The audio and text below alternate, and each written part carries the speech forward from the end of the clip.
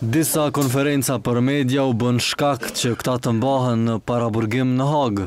Atje ish-krerët e OVL-së e UÇK-së po akuzohen se me publikimin e disa dokumenteve konfidenciale penguan punën e dhomave të specializuara.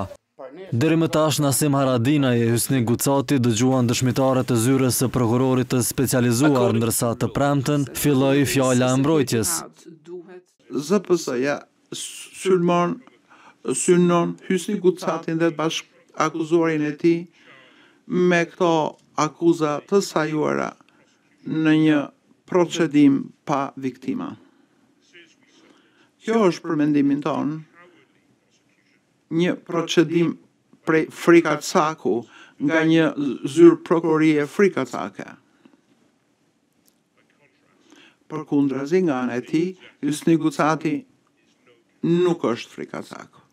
Për rrjedhjen e dokumenteve që çuan në arrestimin e Haradinajt e Gucatit, avokati i këtij të fundit është i bindur se ka zyrtarë të ZPS-së të implikuar. Kur mbrojtja thotë ka informacion se një punonjës me emër që punon aktualisht në ZPS është implikuar në proces përmes të cilit materialet mbërritën në zyrat e OVL UÇK-së, ato nuk thonë asgjë dhe nuk kërkojnë asnjë provë për ta hedhur poshtë.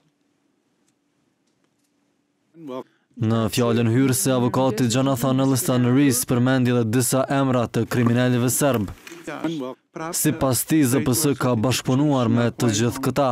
Gjatë çështjes sonë të mbrojtjes ne do të parashtrojmë prova të tjera që kanë të bëjnë me emra të tjerë që tregojnë që ZPS-ja ka kërkuar bashkëpunim nga ta, duke përfshirë Nebojsha Trajkoviq, i njohur ndryshe si Lutka, zëvendësshefi i njohur i Glogovcit në njësinë OUP të Njësisë për Punët e Brendshme të Ministrisë së Sllobodan Milosheviqit për Çështjet e Brendshme.